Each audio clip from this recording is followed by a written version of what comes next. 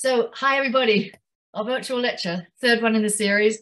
One more to go on the 8th, so join us for that one. And that's Historic Homes of Niagara with Linda Fritz. But here we have everybody that we have been waiting wonderfully to hear this one. Women who have, uh, uh, have uh, uh, broken the glass fort, gone through the glass fort. I think this is going to be such an intriguing one. We can't imagine that. Broke the glass fort is a wonderful suggestion. And we have, we have here, we have Elizabeth LeBlanc, we have Erin Ronfeld, Julia Grcevic and, and Shayna Mercier on phone. So over to you ladies, introduce yourselves a little and we're on. Thank you so much, Babs, and good morning, everyone. Uh, thank you so much for being with us today as myself and my friends and colleagues talk about our experiences breaking through the glass fort and helping to shift and broaden the narrative from history to there or our stories. So as Bab said, my name is Elizabeth LeBlanc and my pronouns are she, her. I am currently the Partnering and Engagement Officer for Parks Canada in Southwestern Ontario, and I am privileged to work in the Niagara region today. And I'm lucky to have lived and worked from Essex County to Eastern Ontario and the National Capital Region, where generations of Indigenous people from Turtle Island have lived on, managed, and taken we've lost her. oh no. Are you there, Liz? Oh goodness. Oh, there you are. Good. Okay. I will carry on. Um, we would also like to thank the Niagara on the Lake Museum for inviting us here today and giving us a space for us to talk about our experiences. So am I, am I coming through clearly for everyone now? Okay, very good. Uh, so before we get started, um, I'd like to actually introduce uh, my invite my friends to introduce themselves. So, Erin, if you'd like to uh, to kick it off. Uh, sure. So my name is Erin Ronfeld, and my pronouns are she, her. I am the newly appointed manager of Old Fort Erie for the Niagara Parks Commission. Um, but I've spent the last 21 years working at forts and heritage sites, um, starting off at Fort George National Historic Site. I also worked for some time at the Laura Secord Homestead and the Mackenzie Printery before ending up in Fort Erie. Um, and my name is Julia Grcevic. Um, I my pronouns are she, her. Um, I am currently the uh, acting communications officer for Southwestern Ontario uh, with Parks Canada, um, but I started my career at Fort George and I worked uh, there for several years uh, as the interpretation coordinator. Um, I was also briefly working at the HMCS Haida um, National Historic Site in Hamilton, uh, as well as Woodside National Historic Site. So, and I have also been associated with the uh, Historic Sites and Monuments Board of Canada, which are those lovely burgundy plaques that you see around. Uh, so I have uh, a lot of familiarity with those as well. And I'll turn it over to Shayna.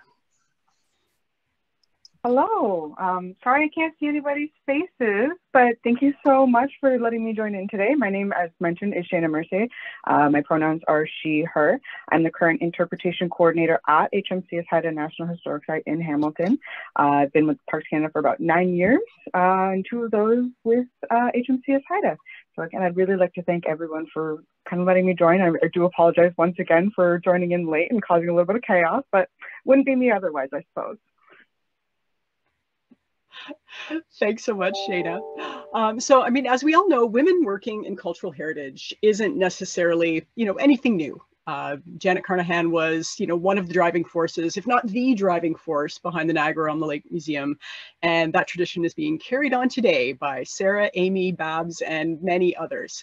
Uh, but not all fields have always been open to women. And sometimes if you did break through, you might be the, you know, virtually the only one there, the only one at the table. So Today, my colleagues and I are going to talk about our experience as women working in heritage, uh, particularly at our military heritage sites, and how we've worked and continue to work to shift the narrative. So to expand on the stories that we tell at these special places and why that's important. So I'm going to ask Julia to give a little more information and context about what shifting and broadening the narrative actually means. Julia. Thanks, Elizabeth. Now, all heritage sites, whether we realize it or not, have a narrative. Uh, these are the stories that we tell and the vantage point from which we tell them. So traditionally, these narratives have been similar to what we would see in the history books, uh, often the perspective of a white male. And many people today might be familiar with the phrase that history is written by the victor, uh, which is a narrative that excludes a lot of various experiences. It doesn't tell the complete story. So shifting the narrative uh, and broadening it means to include the stories of those that haven't always been presented. It doesn't necessarily mean tossing everything out, uh, but it making, it's making sure that other lenses and perspectives are applied to our heritage site. Um, so for Fort George as an example, this means ensuring spaces for stories of the Colored Corps, Indigenous warriors, and of course, the women and children uh, who also lived on site and who were also affected by the War of 1812, despite them not being in the military. So these things are not always a quick change, and we're not going to be highlighting, um, and we're just going to be highlighting one of the lenses today um, through our experiences as female staff. Um, but I'm going to shout out a piece of legislation and policy, uh, sorry, not legislation, just policy, that can go into more depth about what Parks Canada's framework um, is, and it's called the Parks Canada Framework for History and Commemoration. I'll send a link through the chat in a few moments, um, but this is available online, and it's a guiding document for a lot of our work. Um, and I know it's weird to be a fan of, of, of, policy, but I highly recommend this as a read if you're interested to see what other projects are being done um, and what other sites might be using. Um, so like I said, we'll try and put that in the chat shortly.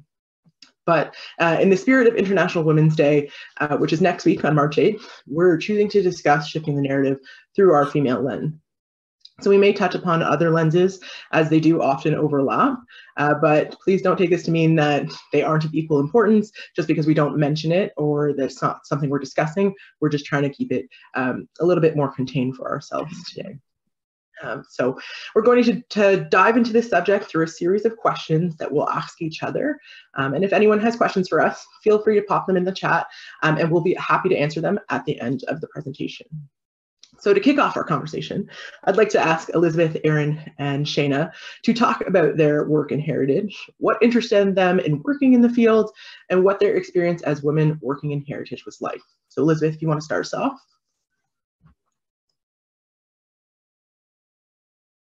You need to unmute yourself though, Liz. All right. It's always me. It's always me. Okay. so um, I had seen the CBC production of Anne of Green Gables in grade school and loved it. So when the opportunity came up to volunteer at Fort Malden National Historic Site, um, I could not have been more excited. I mean, I could wear dresses with puffy sleeves.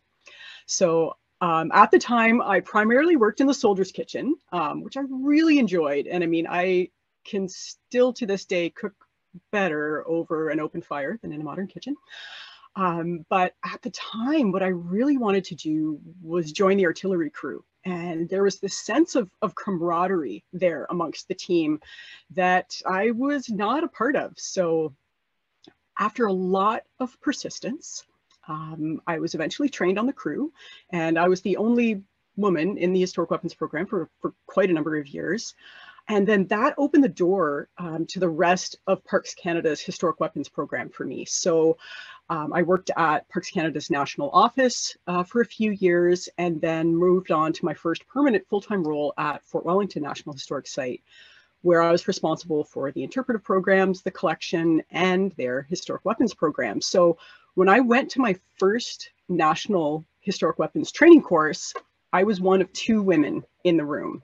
Um, and the other individual really wasn't involved in the program uh, kind of on a day-to-day -day basis to put that into context, there were about 50 men. Um, and they were incredibly kind and helped out wherever they could.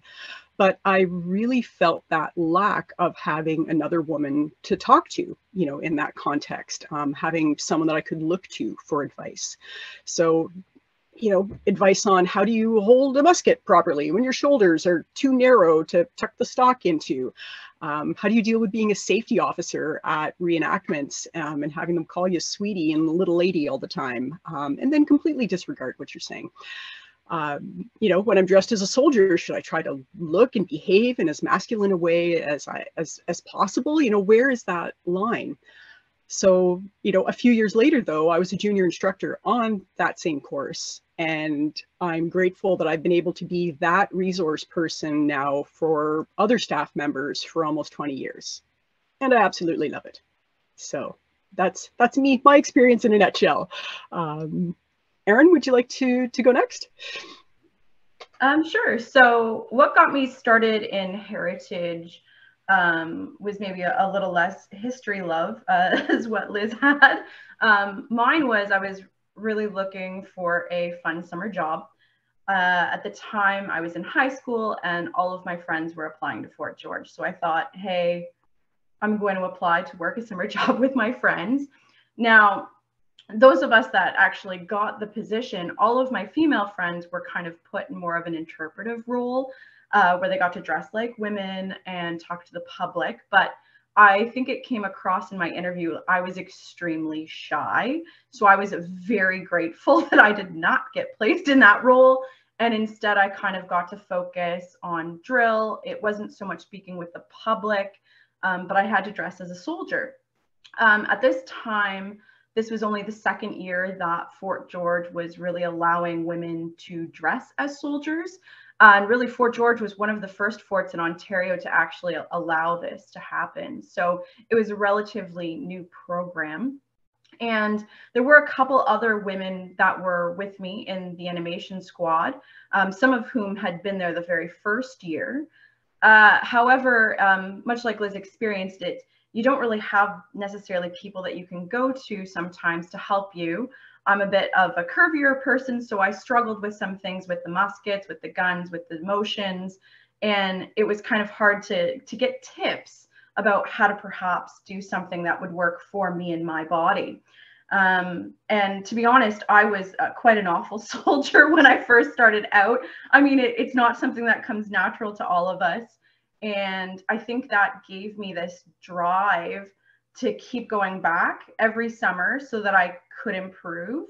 And when I start to see that improvement, even though all my other friends had kind of gone off to other jobs, I kept coming back for about another 18 years, whether they liked it or not, um, just because I loved the history and the drills so much. So that's kind of how I got my start. Um, Julia, if you'd like to speak about yours.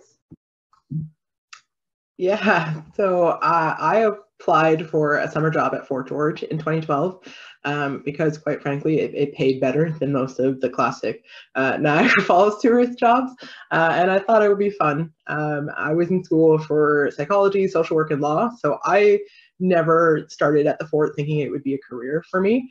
Um, and I used to joke that I just liked talking to people and I didn't really care about what. Um, I liked history. I found it interesting. So, and I was like, what a fun summer job to dress up. Um, so I, I kind of jumped in with both feet. Um, and then as I started working uh, in the field, I uh, used to I found that people that were talking to me were the people who were um, kind of generally being dragged to the site by their history loving uh, person or family member. Um, and so I was that safe person for them uh, to talk to on site. So I wasn't dressed in military uniforms. I wasn't going to force history down their throat because I didn't really care what we were talking about. I was just happy to chat. Um, and so I kind of became almost, I don't know what it was, if I had like a beacon or, or whatever on me, uh, but it, it kind of helped attract those people. And I really learned to love that and, and kind of thrive on it. Um, and since these visitors didn't want to talk history in the traditional way. Um, the satisfaction for me of finding those connection points with visitors um, to still connect our stories um, about why our heritage places are important has really kept me here. Um, so I started in 2012, which I also joke is the year that mattered for the bicentennial at Fort George. Um, and and uh, I'm still associated with the site uh, 11 something years later. So uh, that's kind of mine. And I did take a, a few turns um, to other heritage sites um, where, again, I just really loved trying to connect with people uh, in all of our places.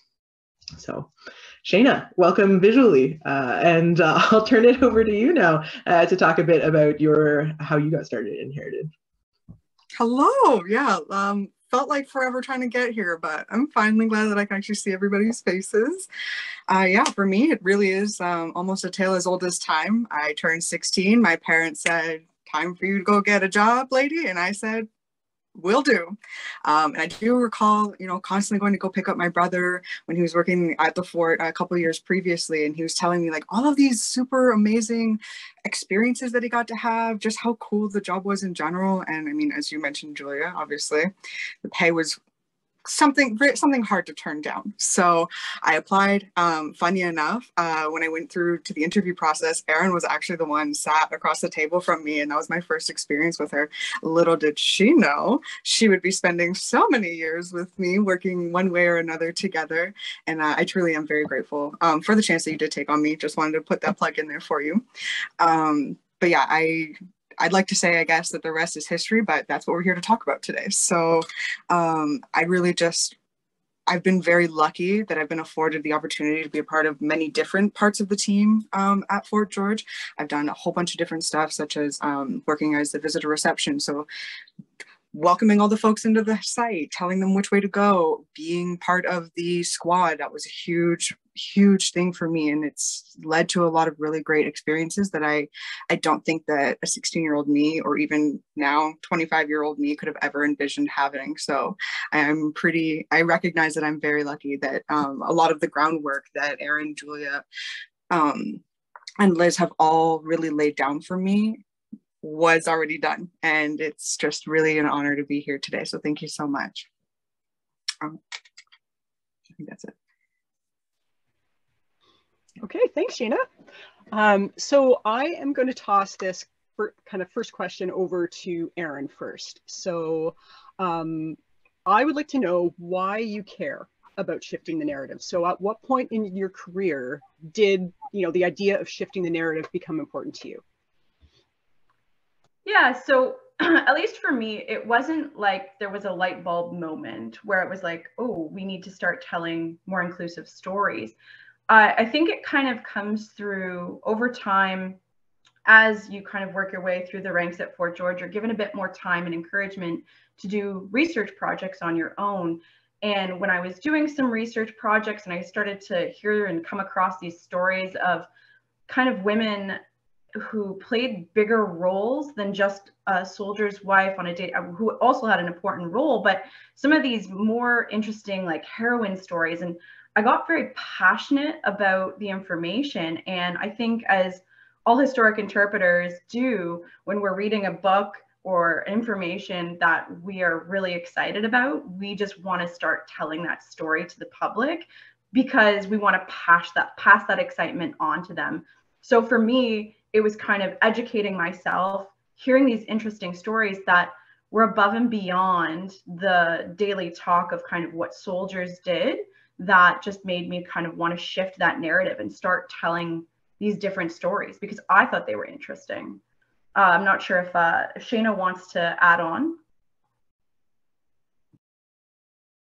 You need to unmute yourself though, Shayna, if you want to add. See, not just you, Liz. yeah.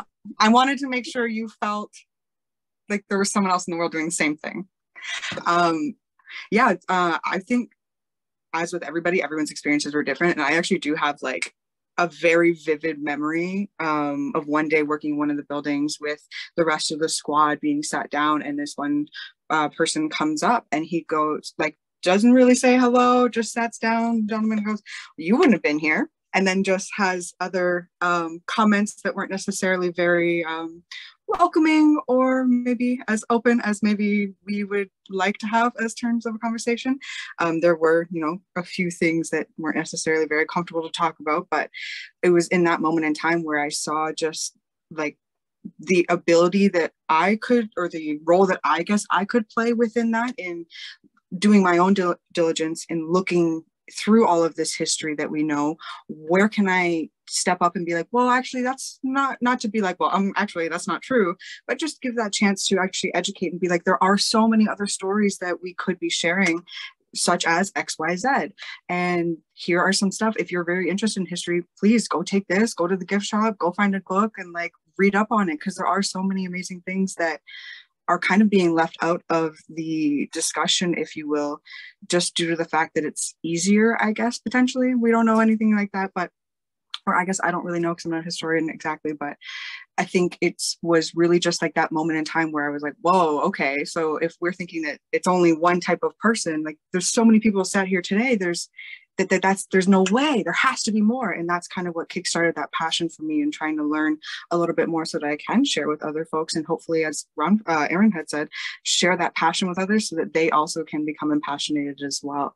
Um, you know uh, the stories that we tell visitors um, as holders of historical knowledge do help us to shape the scope of understanding whether good or bad right? So it's on um, the role of everyone to kind of learn, I believe, and to share those cultural, ecological, communal, etc., whatever amazing stories we'd like to share um, in the correct way, obviously.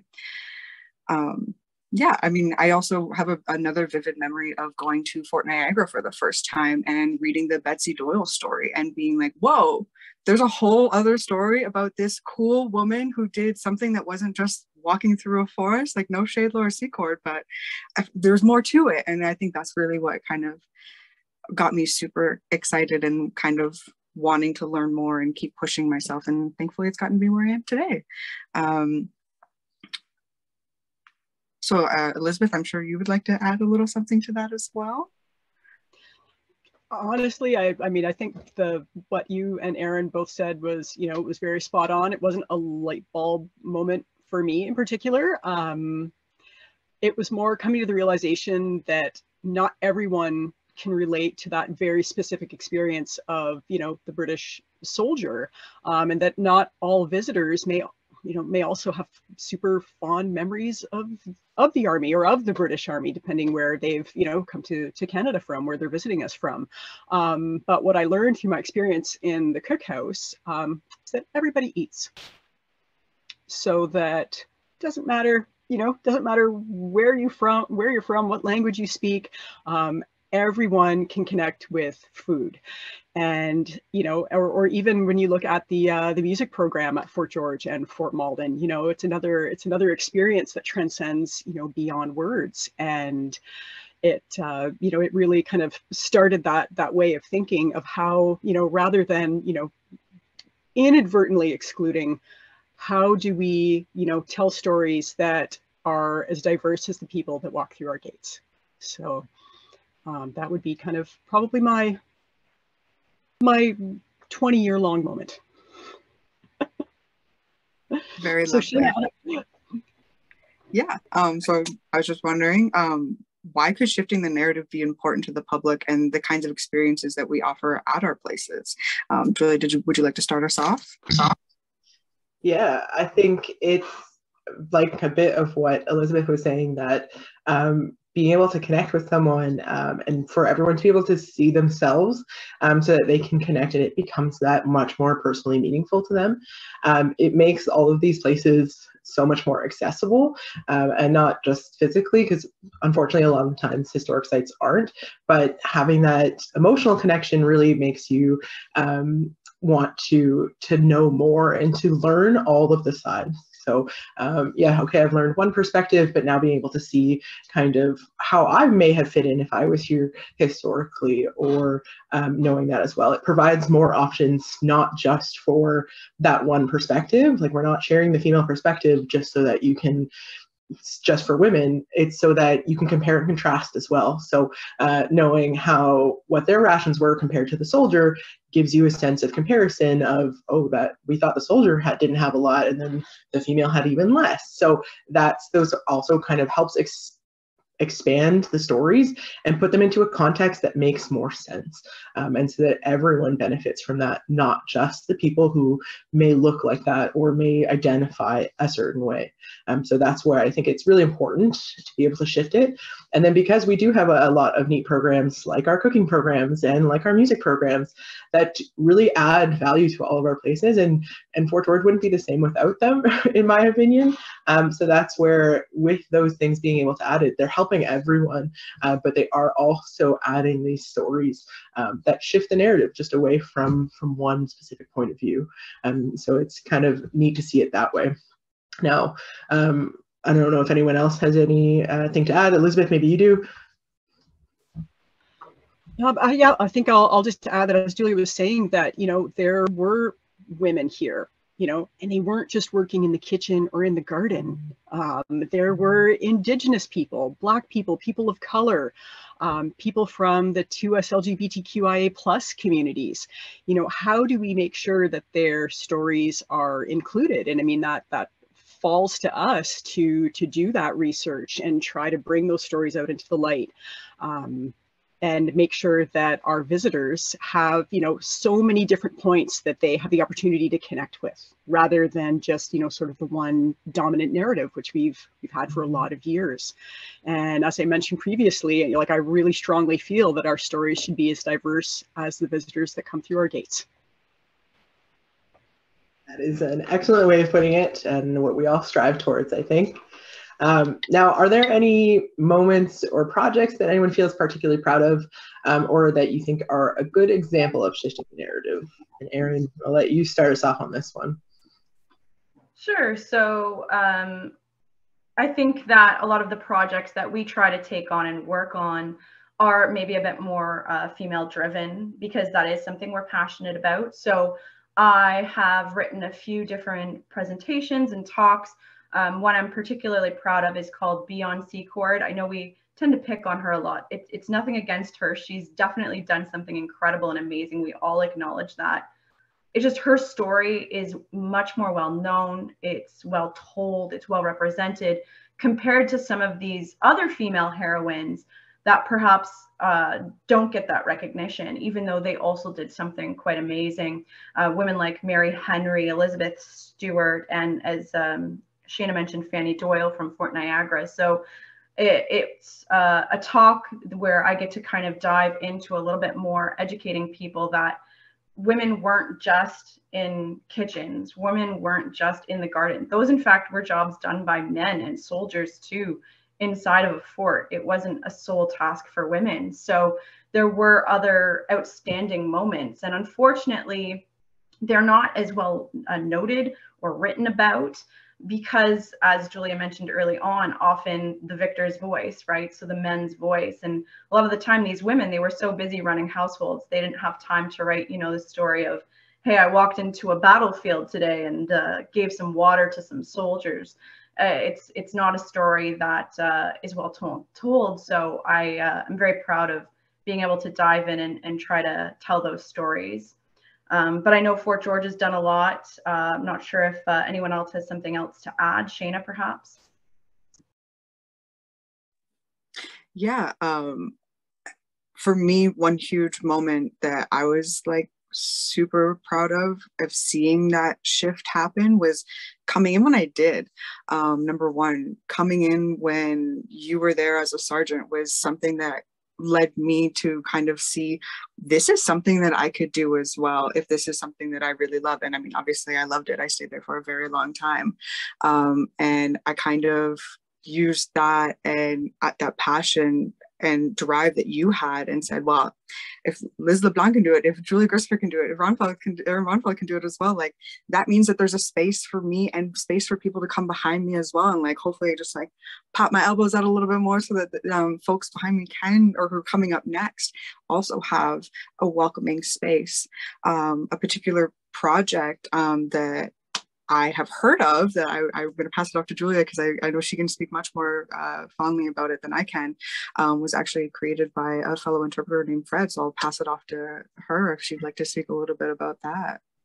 Yeah, and I, I always find that this is a good example. And I think Fred's in the chat. So thanks, Fred, for, for this one. I don't know if you know this yourself, but um, uh, during 2020 when we were shifting to to do new um, types of work and our student staff um, and our GT staff got uh, a little bit more time than they might to do some research projects um, at Fort George.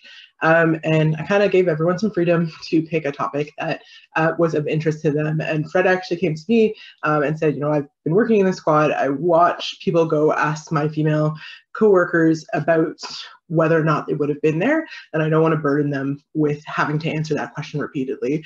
I want to be able to help answer them. And so he told me uh, that. And so then he developed a talk about women in the army, uh, women who had snuck into the army um, and kind of those who had presented themselves as male to in order to accomplish different things. So um, he approached approached it so purposefully um, and so meaningfully, um, and he really had this venue. And if you happen to come last October to the site, you may have heard him deliver that talk. Um, and it was just a moment for me of that of a, a, purposeful allyship that it's not just us who are doing it. Um, and it was just slightly different from topics that we had had before and it really filled a void that it was an interesting topic. And it's a great talk if you ever do get a, listen, a chance to listen to him deliver that. Um, no pressure fred on that one. Uh, but these are, stories that need to be shared and it's not just us who are doing them um, on that one Well, and I think it's amazing too, and I think it needs to be acknowledged that people like Julia created an environment where Fred felt comfortable approaching you and making that ask and you know helping him find you know kind of the way the the way to frame it or you know just just providing with an opportunity to be able to uh, to do that and to be an ally is uh, is amazing. And it's something that I see in Erin and Shayna as well. So I love it. And I can't wait to hear some of these products when we go visit visit our sites in, in coming years. Uh, for myself, um, kind of a, a, moment that I was thinking of last night um, was during the, the bicentennial of the War of 1812. And I was asked to narrate the 200th anniversary of the Battle of Queenston Heights in front of a crowd of thousands. And needless to say, I did not get much sleep the night before. I was wildly nervous. Um, but I deliberately tried to incorporate other stories into the narration beyond what was happening on the battlefield before us. Um, you know, what was happening in the local communities? How is this impacting First Nations people and women and children? And what role did the Coloured Corps play? You know, you looked out at the diversity of the audience and you knew you had to make this relevant for them. So, and just that feeling of afterwards when I had members of the public, staff, volunteers, um, our CEO and his wife, who were sitting directly behind me throughout it, um, which did not add any pressure at all. Um, but also reenactors coming up, some of whom 20 years previously, you know, when I would approach them at, a, at an event to, to talk about weapons expansion, you know, in, inspections or so on, would, you know, say, now little lady, I've been doing this longer than you've been alive you know, to have those same people coming up and telling me how nice it was to have a different voice, bringing different elements to the narration um, than they had heard previously. Uh, you know, like that was really, that was like, gave me all the good, all the good feelings inside. And, uh, and it's something that I really credit Parks Canada and Niagara Parks with giving me the opportunity to do that. So a huge shout out to, uh, to both of those organizations. Now, I would like to know, um, and maybe Julia and Shayna, you might want to sort of take this first one. Do you see that change is happening? Yeah, I, I do, and and I think it's something that um, we've definitely uh, been able to see that there's more stories coming out um, from uh, across uh, different lenses and different perspectives, depending on what people are passionate about. Um, and so it is also something that uh, a credit to to our whole all of our teams that they're supportive of us doing it. It's not like we're out one man band, like elbows out, trying to make these happen all the time. Um, no, other people like these stories as well. We have the support from the organizations to do it. Um, and um, I, and I thank you for saying that I helped create the space because I'm just following in your footsteps. Um, but uh, they are um, like for Shayna, for example, uh, this past year was able to do um, a, a, talk on one of her passions, uh, which is Indigenous representation, and she did that on Truth and Reconciliation Day at Fort George on September 30th, um, and she helped bring this perspective. and And we weren't trying to publicly um, promote that event, but we really wanted those stories to be told on such an important day. And it was because of Shayna that um, that, that managed to happen because of her passions. Um, and so we have this freedom to tell more stories and we have a platform to do it and, and people are doing it. And so that's the change that I'm seeing. And it's not just people from the marginalized communities that are doing it. It's all of the allies on site as well. Someone like Fred. Um, and Shayna, I, I, don't know if you have anything more to add. I know you that was your passion project, and I really wanted to shout you out on that one because it was so well done and it inspired me to to learn more at the time. Yeah, thank thank you for saying such kind words. Uh, you were also a big help in that. I don't think you remember, um, but I think one thing that I really wanted to add, just what you were saying, was I I vividly do remember standing outside. We had um, just stood outside for a little while just to talk to anybody who was kind of oh, what's going on? What are you guys doing? All that stuff. And it did not matter where everyone was coming from. We had folks coming from all over and they were all super interested and engaged with us in these wonderful conversations that I truthfully don't think that we would have really seen in that space. I, for sure when I started, and maybe even up to a couple years ago. So I think that really speaks to just how far everyone's been willing to kind of let themselves grow and learn in all of these different avenues because yes as we've been saying today is we are focusing on women but i there are so many other conversations that I, I, think are being had and are continuing to be had, and even new topics that maybe weren't even thought of a couple of years ago. That now we're we have the ability to do the research, and we're thankfully being given the time by these the agency that we work for to sit down, like really get to know all of these wonderful stories, that, so that we can present and hopefully make people feel a little more welcome to these sites that maybe they didn't necessarily feel welcome to in previous years because their stories weren't being shared or because they couldn't see themselves you know in the the squad that we were all standing next to or in the kitchen or in the officers quarters or you name it any of those spaces on site. And I, I hope that that is also transitioning to all of the other national historic sites. Uh, i personally can't speak to fort malden but i know liz you have a really great connection with them and i'm sure that they've been doing really amazing things as well. Um, i also really wanted to add that I was lucky enough to be part of the squad in two different ways. One, um, was all of the groundwork that had been laid by these wonderful people that I'm sat here next to today, sat here next to today, but also they helped me want to create a space for folks that was welcome as welcoming and inviting and as understanding and listening like the ability just to sit down and listen and I think that is what led to my second favorite part of being part of the squad, which was helping to create a space where we actually had the most, the largest contingent of females within the squad that they had ever seen and still have to this day, to a point where it was like, it was actually 50 50. And that was a really wonderful experience to see that, like, you know they were coming in when women were only just starting to be allowed to work at these forts and within such a small time we've really kind of just let that guard down of well women weren't in the army so they can't be a part of the army. And it's really thanks to them that I've, I've been given obviously all of these amazing opportunities but that i can kind of step back and really just enjoy myself. And hopefully other folks get to enjoy themselves and see themselves. Yeah it's really um, nice to be able to uh to to to not just see the change in allyship from our peers, but also from the visitors and and, and the reception that we're getting uh, from that, both visibly and and in conversation. Um, on that one. And um, so recognizing that change doesn't happen overnight, is there something that your predecessor did for you uh, that made your life easier? Um, and is there something that you're trying to do for your successors? So Shayna, since you're kind of the, the, the most um, junior of us in, in this chain of command here, um, why don't you start us off here?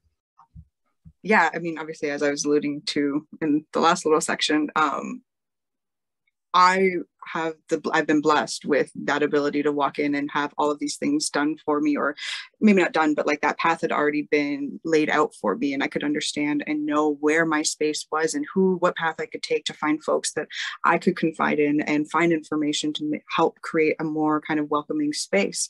Um, and when I left Fort George, my main focus was really how do I ensure that these steps that have been taken by those before me can still be are still there. They're still known. You can still see them, I guess, um, because we do unfortunately sometimes go through very large turnover um, in staff, especially in the squad. You know, we you're only a student for so long.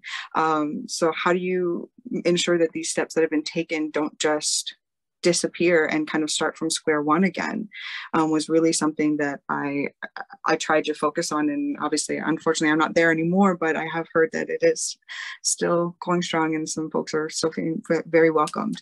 Um, I also obviously as I mentioned everyone on this panel that sat with me has paved the way um, and I really tried to continue to foster and nourish an environment where anyone can come and feel comfortable, welcome, heard and seen whether that's from the information that we share I share with the public or within uh, all of the folks that I work with, um, not only at Fort George, but also at HMCS Haida.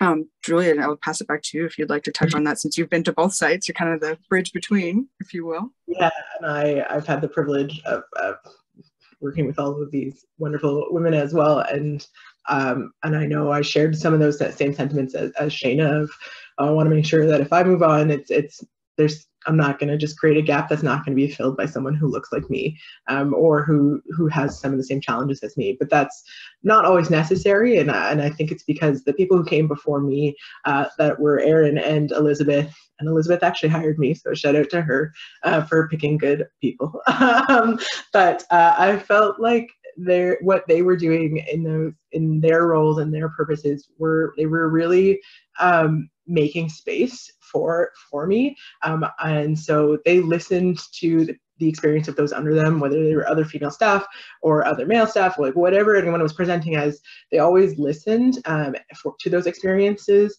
and then used that experience that they were listening to and questioned people around them um, so whether it was people above them. And so it wasn't always like a why are we doing it this way? I don't think it was ever like that realistically, uh, but it was just they were priming that need for change uh, so that when I did come in and and asked like, hey, why are we doing it this way? Why aren't we doing it that way? People were kind of ready to be like, yeah, you're right. Why are we doing it that way? Um, because it, it's not always a fight to get change done. Um, and so when and sometimes there was a, a, space that they created and then people looked to me to be like how do we fill it? And i all i got the fun of being like well why don't we try this or why don't we try that? Um, so they uh, the people before me were really my biggest allies and mentors and they were cheering me on and they stayed invested in what we were doing even after they themselves moved on from the site. And so that gave me an opportunity to learn from the best um, and so i tried to to replicate that for those um, following me because it, it's really that joint efforts that really kind of makes things done and it made it easier for me. Erin, as the person who supervised me.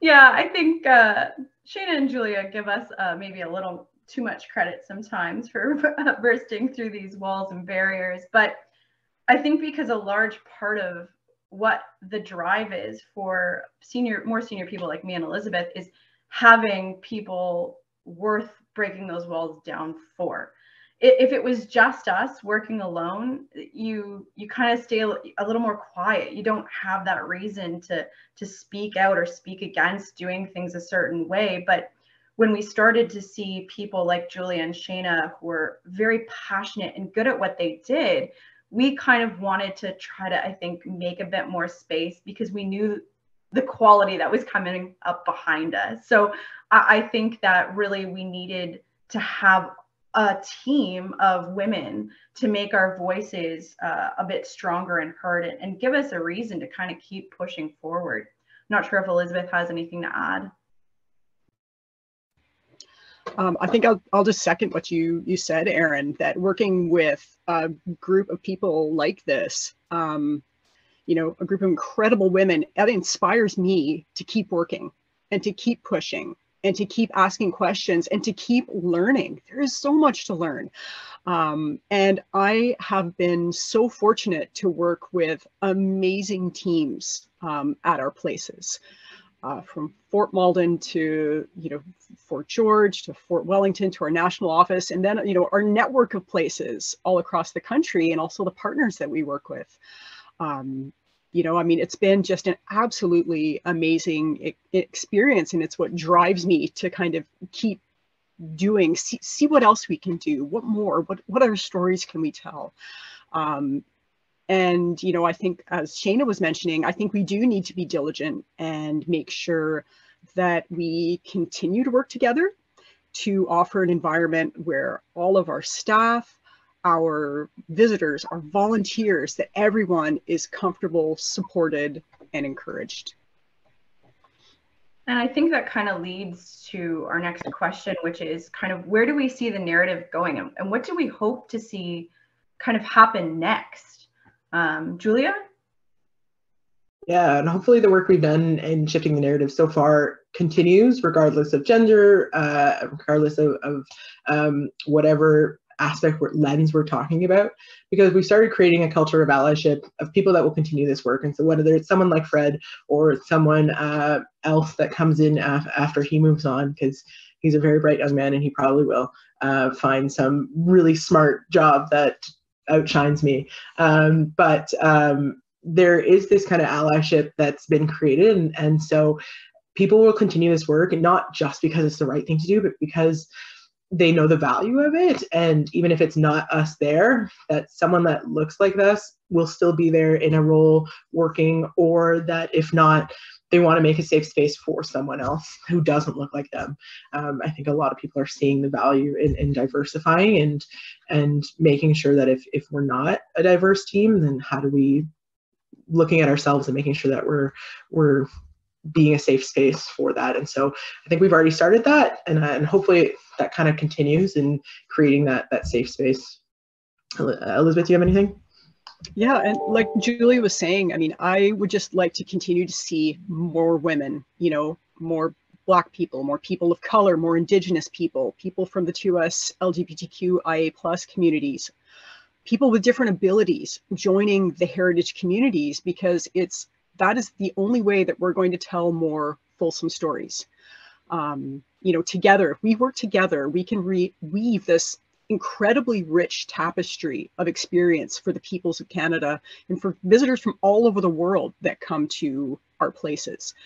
And, you know, we can just continue to work to find more ways to engage more people, to really be truly, truly inclusive. So Shayna, um, did you want to ask the, uh, did you want to bring us through the last question? Yeah, I'd love to continue to weave in this conversation. um, more specifically, just any advice that any of uh, we might, any advice that we might have, um, specifically to uh, any young folks that would are thinking of potentially joining in the heritage um, industry, whether that's military or any. Um, it, would you actually like to start us off, Liz? Sure, sure. Am I on mute? No, I'm not. Okay. Um, so I just I find it amazing to look kind of at the four of us that we all started from a very similar point. You know, we all started as students, and uh, to me, the heritage field is just uh, it's absolutely amazing, and it is so full of opportunities.